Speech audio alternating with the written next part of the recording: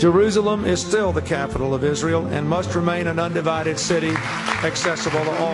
As soon as I take office, I will begin the process of moving the United States ambassador to the city of Israel as chosen as its capital.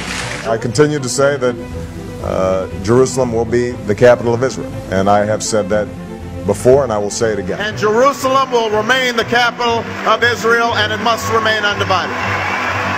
We will move the American embassy to the eternal capital of the Jewish people, Jerusalem.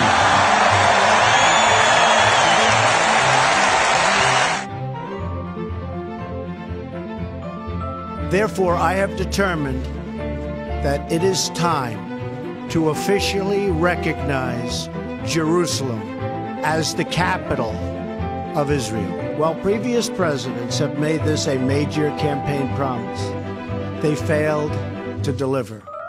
Today, I am delivering.